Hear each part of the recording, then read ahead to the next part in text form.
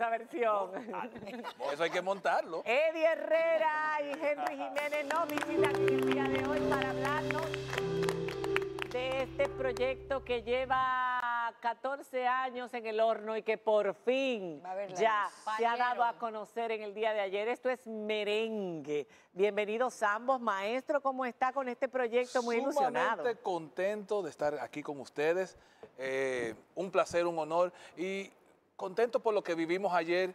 Eh, en Agora Mall. Vimos la emoción en el público cuando vieron a todas sus estrellas y apoyando el merengue. Una cosa espectacular. Vamos a ver algunas de esas imágenes que nos mandaron un videito. Laura, mírame a mí, a mí, a María Cela. Mírala ahí, mírala ahí. Ah, pero yo de A ver, vamos a ver, a ver. Pero esas son fotografías. Yo mandé un videito para ver si lo podíamos ver. Un video maravilloso. Ahí está. Ahí está. Ahí está. Ay, ay, ay. ¿Se ¿Qué estamos, ¿qué, ¿Qué estamos viendo ahí? Estamos viendo un flash mob, que son, para los que no saben, es como un evento orgánico donde de repente tú estás en, un mall y de repente aparece una, una presentación y aquí eso fue la, idea de que... Nosotros hacíamos las emboscadas aquí en esta sí, claro, claro. Pero este, eh, es un concepto maravilloso. ¿Cuántos, ¿Cuántos artistas de los 125 que van a participar estuvieron ahí presentes? En esta canción hay 16 artistas. En el día de ayer estuvieron como 13 porque hubieron algunos que por compromisos de... de, de, profesionales. Sí, profesionales y de agenda no pudieron estar aquí pero 13 de los más grandes artistas, de los íconos del merengue estuvieron con nosotros. Eh, y lo que tú ves ahí es una algarabía, tú ves como, como que esa emoción, esa, esa alegría. Pero claro que sí. ¿Por qué el proyecto duró 14 años cocinándose? ¿No se podía dar el junte entre los merengueros? No, eh, no eh, mira qué interesante. El junte se dio inmediatamente. Cada vez que llamamos a uno de los artistas decían que sí. Sino que primero empezamos con 20 canciones, con 20 artistas y después fue subiendo, subiendo. Y en algún momento dijimos, vamos a hacer esto en grande y esperar que, que fuera el momento adecuado y que Dios dijera, es hoy. ¿Alguna vez contactaron a Johnny Ventura para, para este proyecto? Mira, sí. El primer artista que se llamó fue Johnny Ventura. Y Johnny Ventura, cuando hablé con él, dije, tengo esta idea. Y me dijo, ¿a qué hora? ¿Y, dónde? pero, pero te digo otra cosa cuando había un artista que quizás no me estaba cogiendo el teléfono, era él que hacía la él me llamaba y me dice que Henry te está llamando, vale la pena hacerlo, ¿qué tú crees? Bueno, y tú estás trabajando con Handy, Handy es parte de este proyecto, como Eddie mm. también, como Miriam Cruz, como los hermanos Rosario, como Ramón Orlando, como todos. Quinito Méndez. El que se quedó fuera, eh, no sé, no existe. no existe. Oigan, pero esto, ¿tienen planes, esto va a pasar ahora? Pero tienen pensado que se vuelva algo anual, cada dos años, tienen cada muchos que se vuelva parte casi casi marca país. ¿Esos son los planes o cuáles son los planes que tienen? Eh, dentro, de, dentro del merengue han surgido tantos proyectos, tantas ideas, tantos empujes, como digo yo, y se desvanecen, vuelven de nuevo. Una vez hicimos lo, de Merenguero. Siglo XXI, que duramos como tres años, fue un súper éxito todo. Y viendo yo las imágenes ahora, viendo a, a Crispy, viendo a Jeffrey, a Fernando Villalona, a todos los que estuvimos ayer, a, todos, de verdad. Es hermoso. Imagínense ustedes, 700 actividades realizamos nosotros entre todos los merengueros cada diciembre, en diciembre solamente. Entre todos los merengueros realizamos un promedio de 700 actividades. Yo tanto, el otro tanto. Entonces, el merengue sí sigue activo. Hay una diferencia. ¿Cuál es? Que obviamente, o sea, con el mundo del reggaetón, aquí le dicen dembow, en Barranquilla le dicen champeta, en Honduras le dicen soca, es lo mismo. Es la misma clave y todo lo demás, y es normal. Ciclos de la vida, generaciones nuevas. El merengue fue número uno por más de 30 años. Se peleaba, como digo yo, con la salsa. Entonces, el merengue no está en, una posición eh, número uno como en tiempos anteriores, como acaba de decir pero el merengue es amado, querido. y la idea es esa. El merengue está con en nuestro esto, ADN. Con esto nuevamente, o sea, eh, queremos abrazar, queremos agradecer, queremos activar, no reactivar, activar mucho más el merengue. Pero vamos a un pero hay que, propósito muy específico, que, es que el 26 de noviembre se ha declarado Pero hay que decir antes del 26 de noviembre. Ya lo es. Ya lo es. ¿En qué, lo, sí, porque en noviembre es el del merengue, pero en, en Vamos a explicar a la gente en qué consiste el proyecto. Claro, Mira, ¿cuántas? ¿Qué, qué van, a, van a hacer actividades ¿Qué va de a pasar todos los meses ¿Qué va a ocurrir? dónde? Mira, para ¿Cuál que, es el pa- proyecto? para que entiendan, A ver. esto es una producción que cuenta con 125 artistas, Correcto. 50 canciones, 75 músicos. Eso es un disco. Eso es un disco. Esa es la primera parte, la primera fase del movimiento Esto es. Merengue. ¿Cómo llegamos a lo que tú dijiste? Si esto sucede anual, si se, si, se, si se pierde, si se desaparece. Nosotros lanzamos la primera canción mañana. Ajá. Dominicano El alza la mano. Dominicano alza la mano.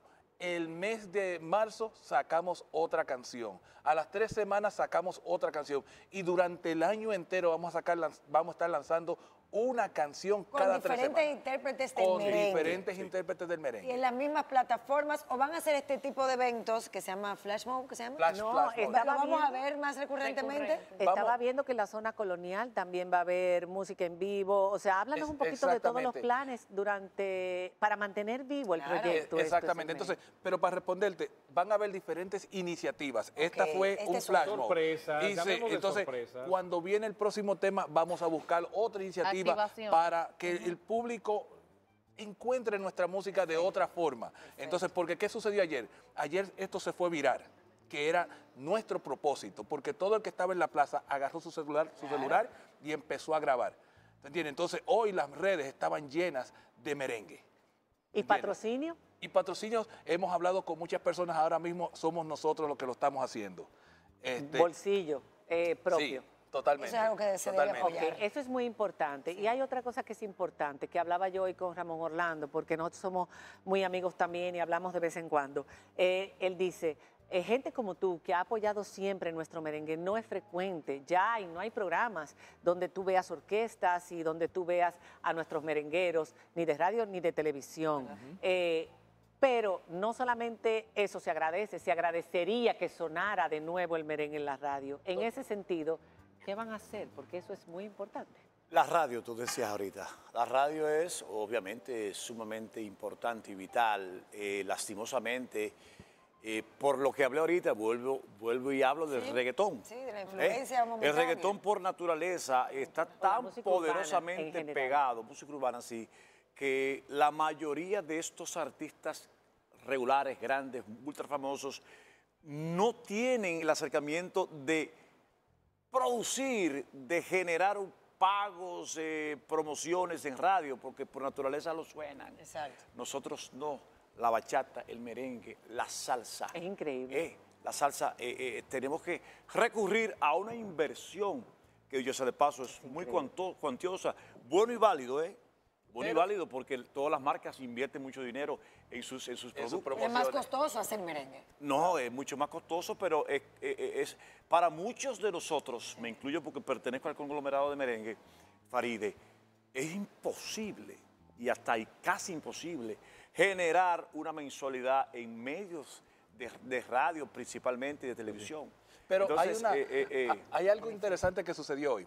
Estuvimos en un programa ya hablando sobre esto y esta tarde me llamó un director programador de emisoras Ajá. de un grupo sumamente importante. Dilo, dilo, dilo. ¿Se puede? Sí, dilo. Ah, bueno, de los medios de Telemicro me llamó, Bien. me llamaron y me dijeron, nos gusta lo que está haciendo, puede contar con nuestro apoyo y con la programación Muchos del que tema. estamos Bien. también en radio debemos sumarnos Y a esa iniciativa. Con lo que decía Eddie, con la cantidad de presentaciones que se hacen, por ejemplo, en diciembre, creo que Sí. fueron más de 700, 700 y presentaciones de- entre todos. eh, sí, lo en que le dan ustedes de comer a más a sus empleados, supuesto. ¿entienden? Sí, Una claro, empresa claro. muy grande que hay que Claro, apoyar. Que hay claro, que- no, y además- Y que se vio muy afectada en medio de la pandemia. Es Claro. nuestra música. Si no suena en la radio, las nuevas generaciones no se acostumbran, no la bailan, no conocen. Pero además de eso, hay que tener en cuenta ahorita que se está promoviendo tanto el turismo, y lo digo yo como extranjero. sí, ellos vienen buscando el música merengue. Es icónica. Hablábamos ahora hace rato con, con Eddie. Con el galán Desde del que yo, merengue. con el galán del merengue, desde es que yo estaba en acabamos de México en enterar los que fue en 90s. México que lo bautizaron. Eso fue lo primero quizás que yo conocí de República Dominicana. sí. y, Y es lo que sigue también. promoviéndose con los Y de turistas. verdad que es marca país, por eso pregunté lo de marca país hace rato, porque la música atrae y fuerte. Si no contáramos con las redes sociales, con, la, con, con las redes sociales en general, o sea, plataformas, Plataformas digitales. digitales. Por ejemplo, yo tengo el privilegio, y lo digo con mucho orgullo, y, y- y- y- Te quieren, te adoran en eh, redes sociales. bueno, contar con un millón trescientas mil personas que escuchan mi música, mi repertorio de éxito, en Spotify. Eso es grandioso.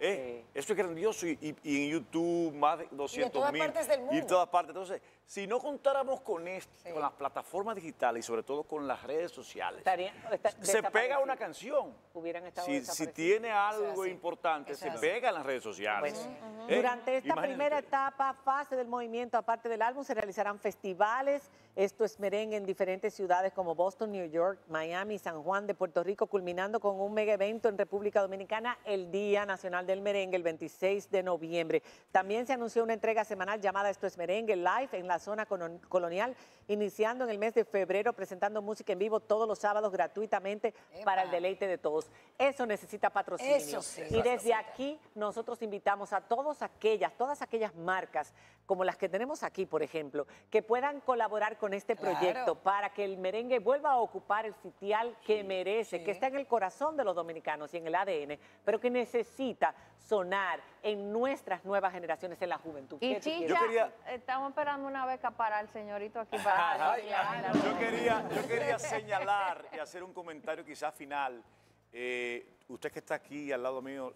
Ay, eh, senadora. Es nada más mira para allá, para el lado izquierdo. eh, ¿eh? déjeme Este algo. Ay, ahora más interesado. Ya yo estoy Yo, celosa, pero yo lado tuve la oportunidad. yo volteado tuve para la, este lado ni yo un tuve la momentito. oportunidad hace 25 años de, de amenizar la fiesta de bodas de nuestro presidente. Eh, eh, eh, y 25 que lo conozco, que lo conozco, yo sé que él nos va como la como presidencia de la República Dominicana, él nos va a apoyar, pero David Collado, Ministerio David, de Turismo. David, vamos, David. Imagínense a David apoyando Este proyecto Así como es está apoyando país. los hoteles, así como están apoyando tantas cosas. Mira esto ahora del puerto de, de Puerto Oh, Plata. Prodo, Y eh, viene lo de Pedernales, y viene lo de Manzanillo. Pro Dominicana, marca no país. Se sostiene, no se sostiene un turismo, sino es identificando las, las cosas que, los elementos productos de que nuestra se cultura. reconocen como parte del país en el merengue. así que Farida, ayúdanos a tocarle la puerta a Yo- nuestro... porque a yo soy merenguera hasta la Pro tambora. Dominicana. Pro Yo soy merenguera hasta la Marca tambora. país, esto es Sí. marca Y vamos a país. tocar la puerta del cultura Estado. y Este pro es el proyecto. gracias. Esto es merengue. Este es el proyecto para que se aproveche y se lance marca país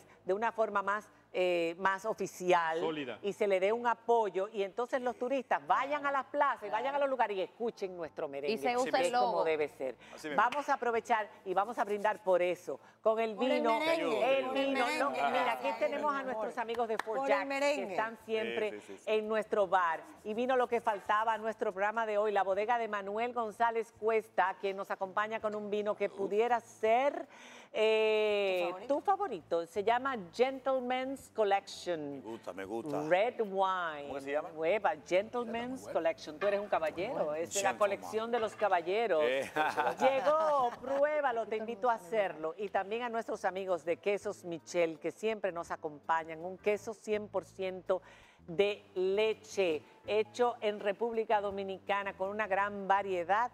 Es el queso favorito de los dominicanos, Quesos Michel. Señores, enhorabuena, que tengan éxito Que en viva este el merengue. Que Gracias. viva el merengue. amén. El a éxito ustedes de ustedes voz. es nuestro. Gracias, amén. Enhorabuena. Dios me lo bendiga. Por el merengue. Abrazo. Señores, Viva. hacemos una pausa y vamos a oír un rap sobre Juan Pablo Duarte. Impresionante. Señor, porque aquí estamos abiertos a todas las músicas, a todos los ritmos, a todos los géneros. Así sobre mismo, todo. Los que tienen calidad. talento. Lo que tienen calidad. Cuando regresemos después de la pausa, homenaje a Juan Pablo Duarte de un joven dominicano. Ya volvemos.